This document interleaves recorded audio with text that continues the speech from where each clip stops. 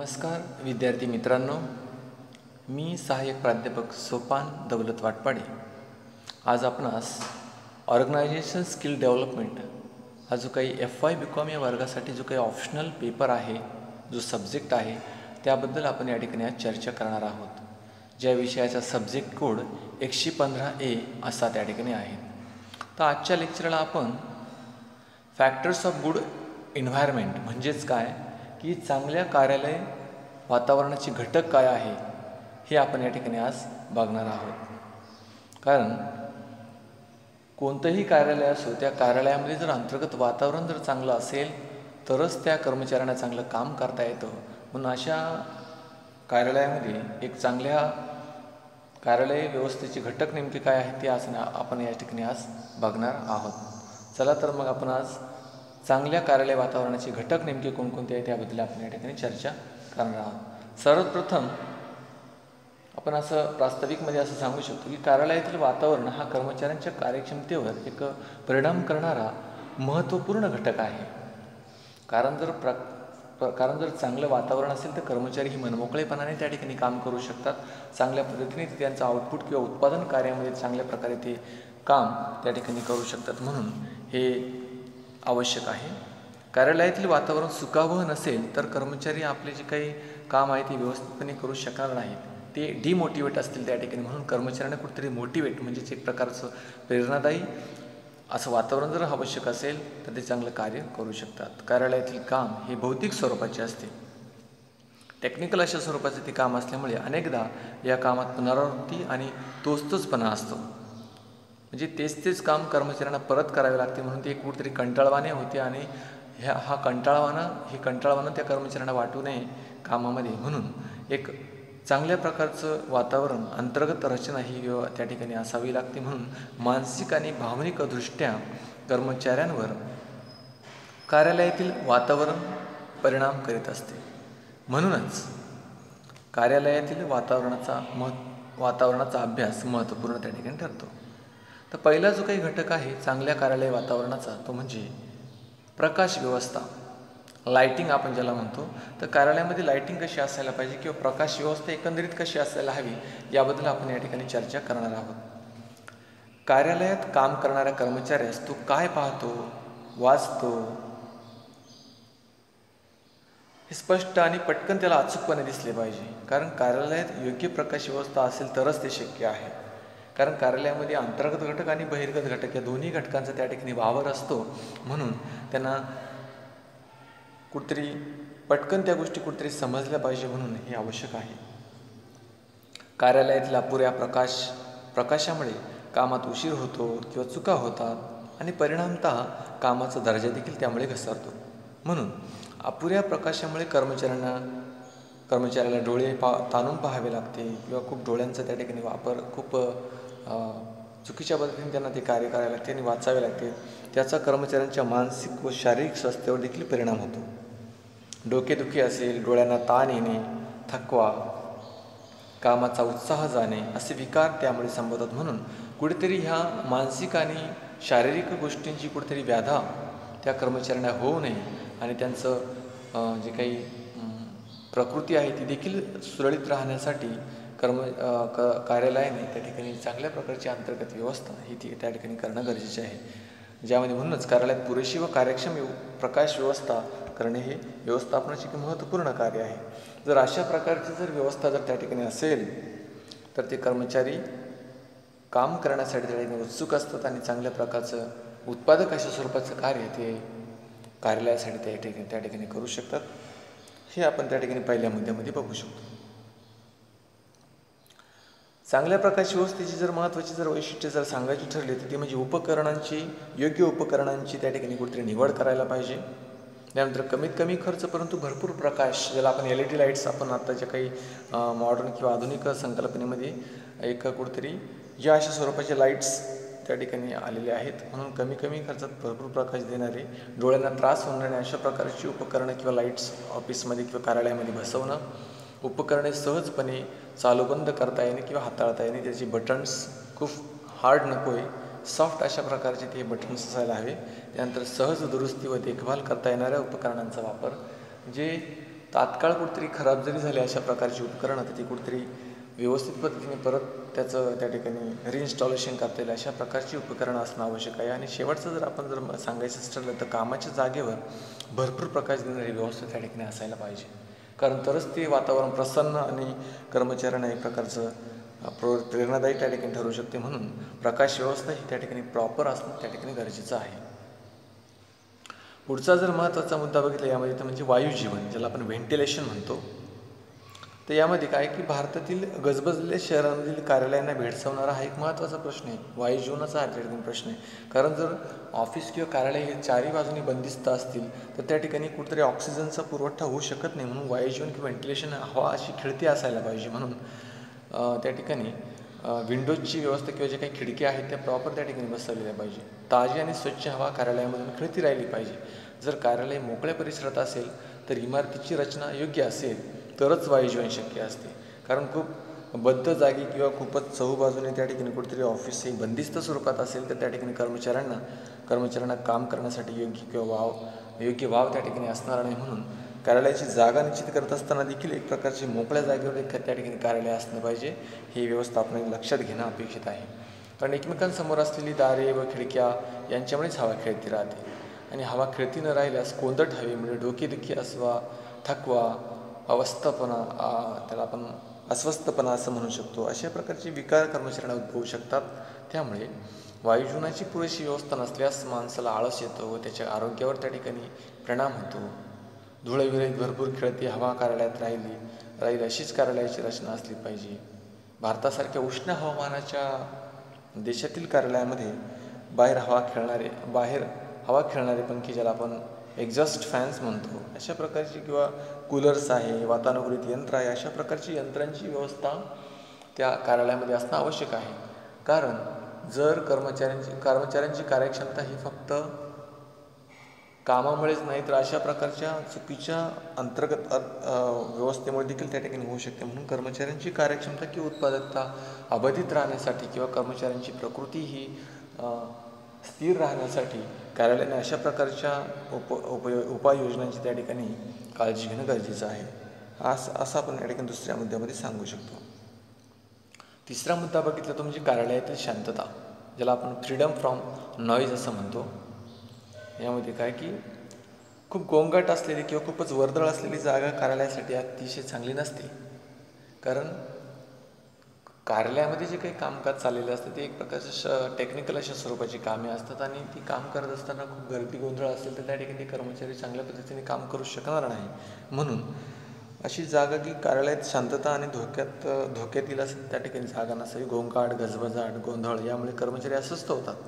त्यांचं कामावर लक्ष त्या ठिकाणी लावू शकत नाही. म्हणून काय की गोंगाटाचे वातावरण सु सुखद असते. गो गो गोंगाटाचे जे काही वातावरण त्या ठिकाणी त्यांना चांगले नसते. म्हणून कर्मचाऱ्यांकडून पटकन अचूक कामे व्हावीत व कर्मचारी कार्यक्षम राहावेत असे जर वाटत असेल तर कार्यालयात शांतता राखणे आवश्यक असते. कार्यालयाबाहेर व कार्यालयाअंतर्गत गोंगाट असतो. कार्यालयातील गडबड गोंगाट नियंत्रणाखाली आणता येतो पण कार्यालयाबाहेरील गोंगाटावर मात्र त्या ठिकाणी नियंत्रण प्रस्थापित करता येत नाही. म्हणून सुरुवातीलाच प्रतिबंध म्हणून कार्यालयाची जागा तशी निश्चित करावी की जेणेकरून जिथे बहिर्गत देखील त्या ठिकाणी कुठेतरी हस्तक्षेप किंवा खूप जास्त गोंगाट त्या ठिकाणी असणार नाही याची काळजी व्यवस्थापनाने प्रथमदर्शी घेणं आवश्यक आहे. कारण कर्मचाऱ्यांच्या आपापसातील मोठ्या आवाज होणाऱ्या चर्चा टेलिफोनची घंटी किंवा दरवाजे असतील दारांचे आवाज असतील अशा अंतर्गत देखील आवाजाचा देखील त्याचा परिणाम हा एक प्रकारचा मानसिक त्रास त्या कर्मचाऱ्यांना त्या ठिकाणी सहन करावा लागू शकतो म्हणून कार्यालयातील चालण्यामुळे होणारे आवाज किंवा भेटीसाठी येणाऱ्या पाहुण्यांमुळे कार्यालयात इतर कर्मचाऱ्यांना होणारा त्रास हे देखील त्या ठिकाणी त्रास हे देखील त्या ठिकाणी विचारात घेणं हे गरजेचं आहे.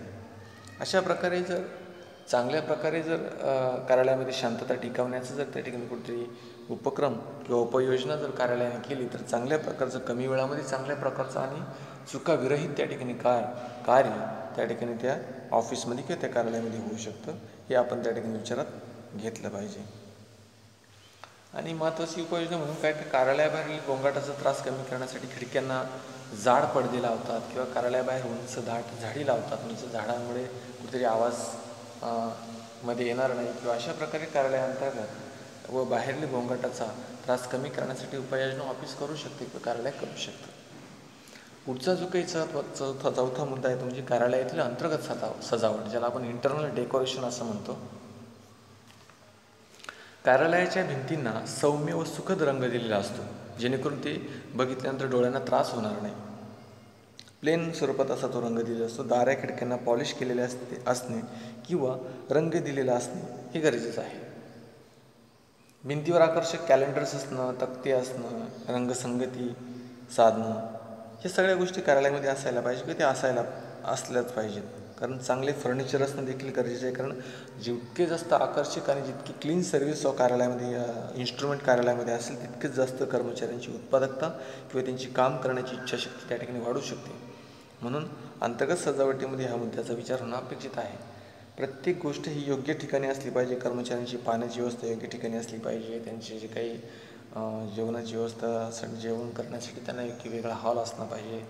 अशा सर्व प्रकारची व्यवस्था जर तिथे असेल तर कर्मचारी हे काम करण्यासाठी उत्सुक असतात आणि खूप जास्त वेळ देखील ते काम करू शकतात. कार्यालयाच्या चांगल्या अंतर्गत सजावटीचा कर्मचाऱ्यांच्या मनावर चांगला परिणाम होतो. आणि ते उत्साही बनतात व आनंदी राहतात. अर्थात हा परिणाम अप्रत्यक्षपणे होत असतो आणि कर्मचाऱ्यांची कार्यक्षमता यावेळी उंचावते. म्हणून कार्यालयाबाहेरचे जे काही गॅलरी असेल किंवा वॉरंटी असतील ते आकर्षक पद्धतीने सजवलेले असावेत. कुठेतरी मोटिवेशनल मॅसेज तिथे लिहिलेले असायला पाहिजे आणि त्या पद्धतीने कर्मचाऱ्यांना एक प्रकारचं चांगलं वातावरण कार्यालयाने उपलब्ध करून दिलं पाहिजे. ही व्यवस्थापनाचं महत्त्वपूर्ण कार्य आहे असं आपण त्या ठिकाणी म्हणू शकतो. त्यानंतर पाचवा जो काही मुद्दा आहे ते म्हणजे तापमान टेम्परेचर कारण कार्यालयामध्ये टेम्परेचर देखील खूप हाय नको आणि खूप लो नको. एक विशिष्ट पद्धतीने ते एक सेट केलेलं असायला पाहिजे. का कार्यालयातील तापमान योग्य पातळीवर राहिले राहील याची काळजी घेतली गेली पाहिजे. एकदम थंड किंवा एकदम खूप गरम वातावरण कर्मचाऱ्यांना त्या ठिकाणी त्रासदायक ठरू शकतं. त्यांच्या स्किनला किंवा त्यांच्या बॉडीला त्या ठिकाणी प्रॉब्लेम होऊ शकतो. म्हणून काय? की प्रॉपर कुठेतरी एक नॉर्मल सिच्युएशन किंवा नॉर्मल टेम्परेचर काय असावं ते विचारात घेऊन याची ती व्यवस्था असायला पाहिजे. ज्यामध्ये वातानुकूलित यंत्रे त्याच्यामध्ये आपण उन्हाळ्यामध्ये म्हणू शकतो.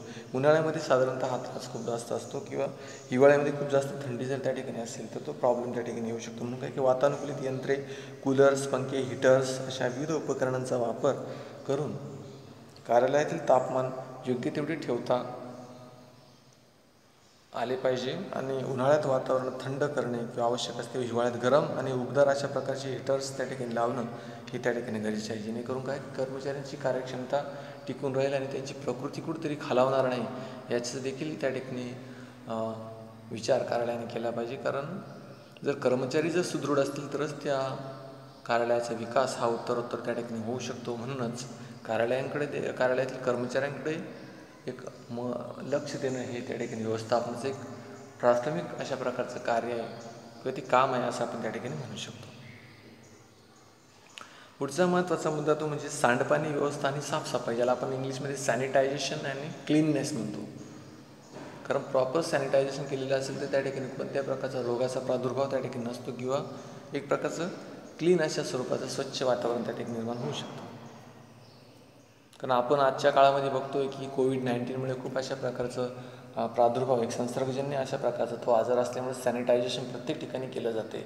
एक लिक्विडचं त्या ठिकाणी कुठेतरी स्प्रे करून ती जागा कुठेतरी स्वच्छ केली जाते. म्हणून हे त्या ठिकाणी कायम कार्यालयामध्ये कारण कारण कार्यालयामध्ये खूप लोकांचा त्या ठिकाणी वावर त्या ठिकाणी चालू असतो. त्यामुळे कोणता व्यक्ती कशा स्वरूपात आहे किंवा त्याला कोणता आजार आहे हे ते आपण सांगू शकत नाही. म्हणून प्रॉपरली तो ऑफिस बंद झाल्यानंतर आणि ऑफिस सुरू होण्यापूर्वी त्या ठिकाणी सॅनिटायझेशन करणं हे गरजेचं आहे. कार्यालय केवळ स्वच्छ असून उपयोग नाही तर सांडपाण्याचा वास यामुळे उद्भवणारे डास वगैरेपासून देखील मुक्त असले पाहिजे. कारण जर जवळच त्या ठिकाणी जर अशा प्रकारची जर सांडपाण्याची व्यवस्था असेल आणि ती जर ओपन असेल ओपन ड्रेनेज असेल तर त्याचा प्रॉब्लेम म्हणजे काय की डास त्या ठिकाणी मच्छर खूप जास्त होऊ शकतात आणि त्याचा चुकीचा परिणाम कर्मचाऱ्यांच्या कार्यक्षमता होऊ शकतो. कारण ते फ्ल्यू डेंग्यू अशा प्रकारचे रोग संसर्गजन्य आजार त्या ठिकाणी त्या कर्मचाऱ्यांना होऊ शकतात आणि त्यांची प्रकृती खालावू शकते. म्हणून याचा देखील विचार होणं अपेक्षित आहे. कर्मचाऱ्यांना दिवसभर कार्यालयात बसून काम करायचे असते आणि अस अस्वच्छता किंवा धूळ सांडपाण्यापासून उद्भवणारे जे काही किडे व वास प्रसाधनगृहे हे कुठेतरी स्वच्छतागृहामधील घाणेडे वातावरण यामुळे कर्मचाऱ्यांच्या कर्मचाऱ्यांवर प्रतिकूल परिणाम होऊ शकतो. स्मेलिंग जर त्यांना कंटिन्युअसली जर होत राहिलं तर त्या ठिकाणी ते त्यांचं डोकं दुखू शकतं आणि ते त्यांचं लक्ष त्या कामावरती त्या ठिकाणी लागणार नाही. म्हणून काय की कर्मचाऱ्यांनी पूर्णपणे ऑनेस्टली त्यांचं काम करण्यासाठी का व्यवस्थापन हे करणं गरजेचं आहे. कारण त्याला या सर्वांमुळे एक अस्वस्थता येते. जेवढेच नाही तर त्याला कर्मचाऱ्यांच्या आरोग्यावरही त्या ठिकाणी परिणाम होऊ शकता परिणाम होऊ शकतो. म्हणून काय की स्वच्छतागृहे आणि प्रसादनगृह जे आहेत ते एक थोडंसं दूर अंतरावरती त्या ठिकाणी असायला पाहिजे किंवा त्याची दुर्गंध त्या ठिकाणी कुत्री यायला नाही पाहिजे.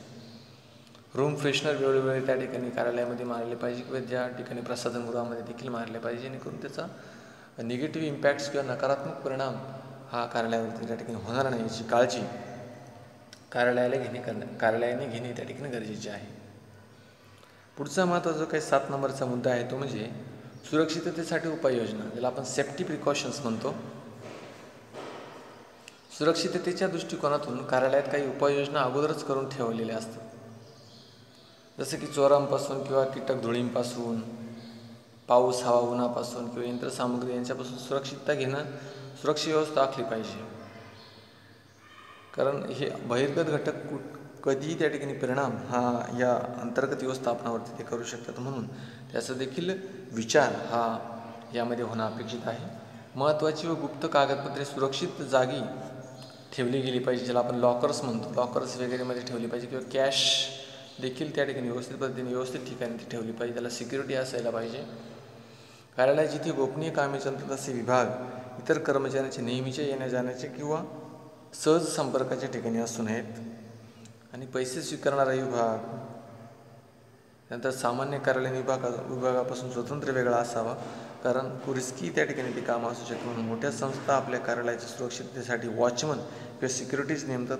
अनेक संस्था कार्यालयाचा विमाही त्या ठिकाणी उतरवतात. समजा जर बहिर्गत घटकांनी जर समजा काही तोडफोड केली तर त्याचा देखील त्या ठिकाणी कुठेतरी सिक्युरिटी असायला पाहिजे म्हणून विमा त्या ठिकाणी काढला जातो.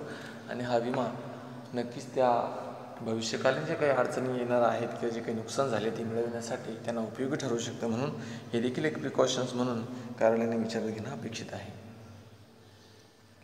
पुढचा आठ नंबरचा जो काही महत्त्वाचा मुद्दा आहे तो म्हणजे पिण्याच्या पाण्याची व्यवस्था ज्याला आपण ड्रिंक ड्रिंकिंग वॉटर फॅसिलिटी म्हणतो. कार्यालयामध्ये जे काही बेसिक फॅसिलिटी असणं गरजेचं आहे ज्याला आपण tea facility water facility rest rooms अशा प्रकारची ज्या बेसिक फॅसिलिटी त्या असायला पाहिजे. कारण पिण्याचे पाणी स्वच्छ ही प्रत्येक कर्मचाऱ्याची मूलभूत गरज आहे आणि दिवसातून अनेक वेळा आपणास पाणी प्यावे लागते. म्हणूनच पिण्याच्या पाण्याची चांगली व्यवस्था कार्यालयात असणं आवश्यक आहे.